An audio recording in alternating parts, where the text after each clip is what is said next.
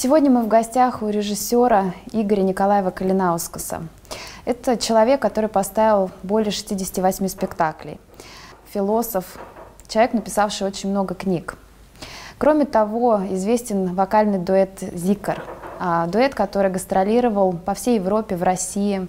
Также известен как художник, является почетным членом Академии художеств России. Его работы выставляются во многих галереях. И сегодня мы у него в гостях, и он нам расскажет о своем новом проекте, куда он набирает актеров, что за постановка будет и что за кастинг будет проходить в Москве.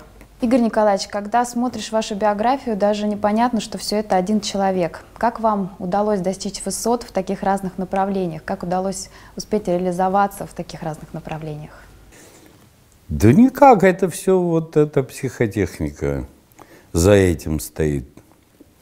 Просто я такой человек, я азартный, я люблю делать то, что мне нравится. И когда мне перекрыли возможность работать в театре, кем я только не работал,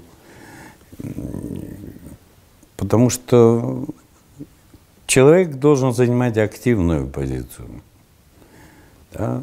Но время от времени, как только была такая возможность, я возвращался к театру – и делал спектакли, в которых продолжал все тоже. Вот этот самый театр состояний, немножко такой нестандартный по тем временам. Вот, потому что мне это безумно интересно. Что такое искусство? В чем его сила? И в чем сила театрального искусства в частности? Это надо у людей спрашивать. Я в театр хожу. Вот и недавно мы смотрели контрабас с Хабенским. Вот пьеса мне жутко не нравится.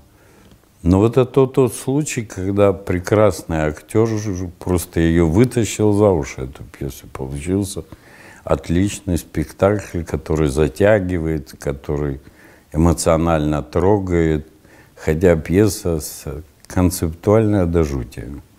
Какая сверхзадача есть в вашей театральной постановке? Вот есть сверхзадача, чтобы это было интересно. А. Да, чтобы это было эмоционально. Б. Да, и чтобы это притягивало людей, чтобы так вот по Москве пронеслось. Как помню, когда Фоменко сделал свой первый спектакль в МГУ «Руси веселье питье есть». Это же мгновенно разнеслось по Москве. Мы все там были. Я даже два раза посмотрел. Это было новое что-то, это было интересно. Какая постановка или спектакль нравится вам из мировой истории? Может быть, это что-то древнегреческое, античное или современное? Что вам понравилось? Вы знаете, разные есть спектакли, которые мне запомнились как говорят, на всю жизнь, да? Вот, скажем, «Мамаша Кураж» в театре Маяковского когда-то, с «Глизер», или, скажем, «Эзоп» Фигередо в Минском театре, когда актер играл после трех инфарктов. И потрясающе играла. И самое удивительное было, что даже массовка – в связи с чрезвычайными обстоятельствами тоже заразилась, и это было очень тонко, очень проницательно. Могучий был спектакль. Известно, что актеры – это инструмент в руках режиссера. А режиссер – это своего рода диктатор. Как вы будете себя проявлять как режиссер? Режиссер – это режиссер, понимаете? Он из разных деталей собирает целое, да? И в этом его назначение. А что такое диктатор? Конечно, режиссер-лидер, он, он видит это целое, а остальные еще не видят. Ему нужно все так собрать, чтобы все увидели. Да, в этом смысле он диктатор. Но я актерский режиссер, и я поэтому до конца не продумываю спектакль, пока не знаю конкретных актеров, которые в нем будут заняты, потому что все-таки театр прекрасен тем, что там живые люди в живом сиюминутном действии. Вот Вот это меня очень интересно. Какая связь вашей системы обучения актерскому мастерству с системой Станиславского? Есть ли она? И как вы видите систему Станиславского в действии? Когда-то мы с моим другом и однокурсником Борей Тираспольским обнаружили, что Станиславский так творчески переосмыслил некоторые вещи из Раджа Гёги. И вот мы тогда кинулись в эту сторону и начали работать над этой психотехникой. Где-то у меня была такая студия в Дагу, в Пилсе, там хотели открыть театр, но потом по разным политическим причинам не открыли. Но э, вот там ее довели до, до завершения, с тех пор она существует, и потом оказалось, что она не только для актеров, но она создана именно для театра. Как можно научить человека да, играть на своей психике? Да, играть состояниями. Понимаете, я помню э, многих, которые стали знаменитыми еще первокурсниками. Великолепные педагоги, атмосфера сама. Борис Евгеньевич с его совершенно нет мира сего. Ну, это потрясающее время. Я помню, как Костя Райхин, когда уже закончил, готовился к роли Трюфальдина, он в гимнастическом зале нашем приходил и уже поздно, в ночью практически – тренировал эти танцы свои, пока мышцы у него не сводило совсем. А мы там ночевали и подглядывали. Кайдановского помню очень хорошо, и Настю Веретинскую, и многих, многих. Так было золотое время. Вот. И, ну, я думаю, что и сейчас не хуже. Игорь Николаевич, как вы отдыхаете? Вот так и отдыхаю. Как это? Лучший отдых – это смена деятельности, да? Нет, ну, раз в год я возвращаю долги организму каким-нибудь способом, в основном ходьбой на свежем воздухе. Игорь Николаевич, как вы можете прокомментировать выражение «актер горит на сцене»? Это хороший актер. А плохой актер, он не горит, он даже не тлеет, он считает. Люди, которых вы набираете, они будут гореть? Я надеюсь. Я их надеюсь, что они сами по себе заводные. И я их научу, как этим управлять, и как этим пользоваться, как на этом играть. А этому можно научиться? Конечно. Конечно. У меня было несколько прекрасных случаев, когда мне удавалось обучить команду и сделать спектакль, в котором это полностью использовался. Это один из самых моих любимых «Юродия» спектакль «Молитва» по мотивам преступления и наказания, где актеры играли юродивых, которые играют этот спектакль. И каждая часть отбивалась молитвой с разрешения церкви, все как положено.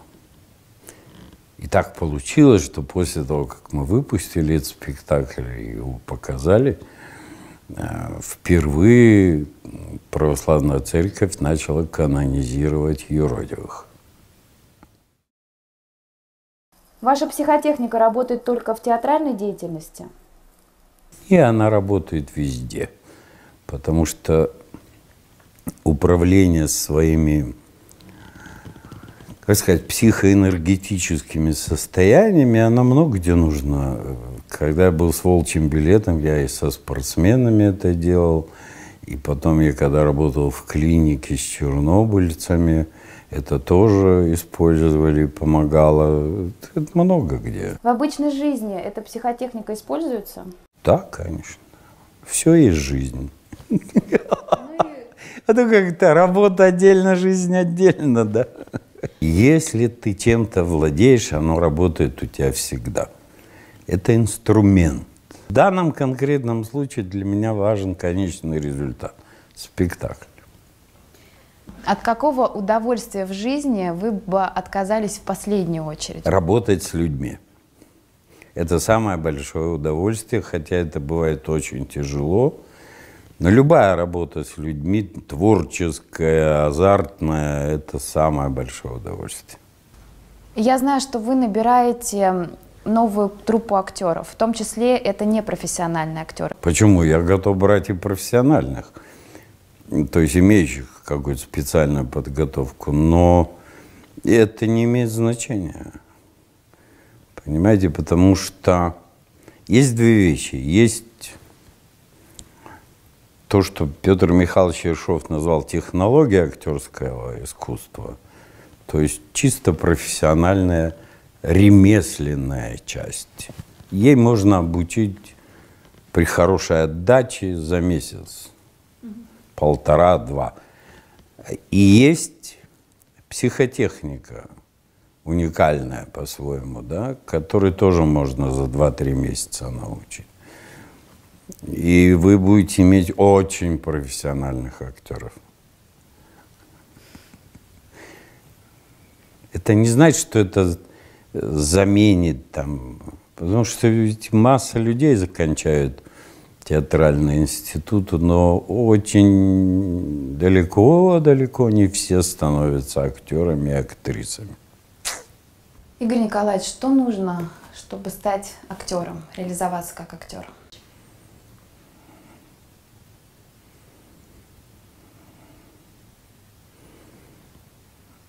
Это сложный вопрос.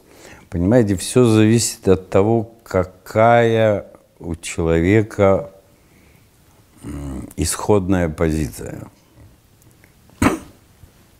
Во что он играет и чем он играет. Вот было время, когда были потрясающие трагические актеры, да? Сейчас их нет. Есть хорошие драматические, то в основном в кино. Да? Потому что нет этой школы, нет этого риска, потому что это большой риск. Я помню еще Орочка, как она читала Цветаева. Это вообще... Она, она только входила в училище на первый этаж. Все этажи слышали, что что-то происходит. Наверное, Орочка пришла. Каким критериям они должны соответствовать? Что вы ищете? Это же дело субъективное. Но вот что приветствуется? Приветствуется, если человек а, что-то умеет. Там, я не знаю, э, танцы, пластика, какие-нибудь восточные штуковины, там типа ушу, цигун, владение музыкальным инструментом, вокальная какая-то подготовка. Все в дело пойдет. Главное, чтобы человек был активным в этом, чтобы он не только говорил, как он хочет, но и делал. Да? И вот тогда с такими людьми можно чудеса творить. А если это очень такая, типа, научите меня, вот я пришел, научите меня, это скучно. Этому научить нельзя, научиться можно.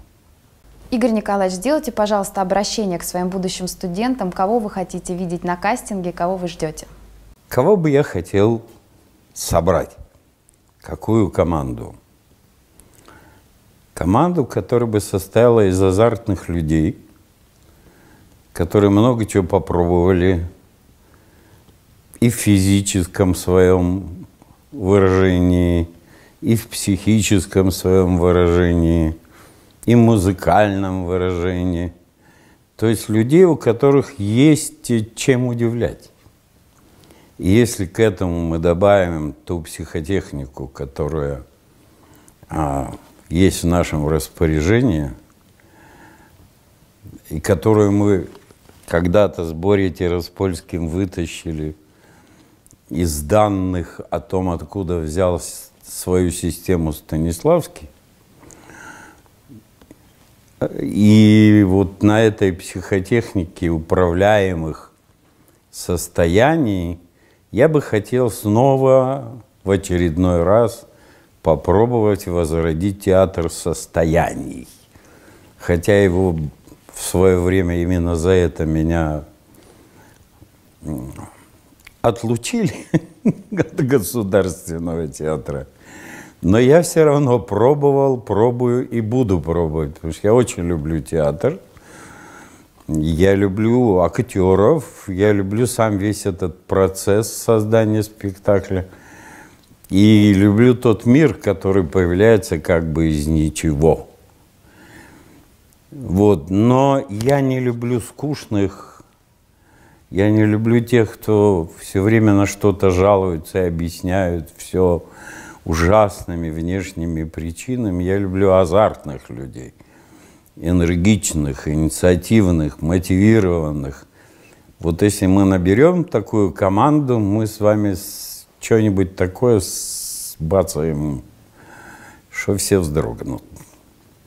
Вот. Я закончил Щукинское, как известно, и, сами понимаете, это особое отношение к театру, к жизни, да.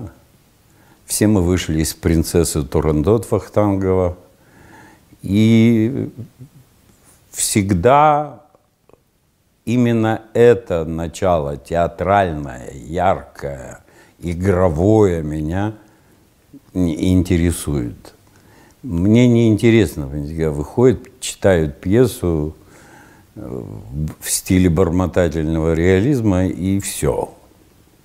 Я хочу, чтобы это было стремительно, восхитительно, эмоционально, чувственно, чтобы люди могли попереживать в зрительном зале, поболеть за своих и так далее. Что это за психотехника? Так коротко, да? Э, у нее есть официальное название дифференцированное функциональное состояние, но это не важно. Она позволяет создать партитуру состояний и транслировать ее в зрительный зал. И тогда человек ощущает какие-то с ним происходящие процессы, но не может объяснять, откуда они взялись. Вот он смотрит на сцену, он слушает текст, он видит действия и еще что-то, что объяснить он не может. Вот это дополнительный канал выразительности очень интересен для меня, я думаю, что и для тех из вас, кто придет – вот, и мы попробуем это дело освоить. У меня такой замысел двойной. Сначала мы сделаем учебный спектакль. Я думаю, что мы возьмем «Дракон Шварца» в такой странном варианте. А потом мы попробуем сделать спектакль по пьесе Эрика Румо «Игры в Золушку». Это очень странная пьеса, тоже притчеобразная. И я думаю, что мы сможем удивить, как говорил Дик, Дикий, Дикой, «А чем удивлять будем. Вот там есть чем удивлять зрительный зал. Ну вот, пожалуй, и все. Я поставил больше 60 спектаклей за свою жизнь. На сегодняшний день, в смысле, в разных городах Советского Союза и, как теперь говорят, ближнего зарубежья. Но вот в Москве мне как-то не везло. Но я хочу, чтобы повезло. Я хочу, чтобы нам повезло в Москве, чтобы Москва отреагировала. Хотя вот у меня есть замечательные примеры в дипломном спектакле «Клуб», который ставил Александр Михайлович Паламишев – мы играли всего два раза. Но зал был битком, вся театральная Москва. Вот я хочу такого результата. Жду вас.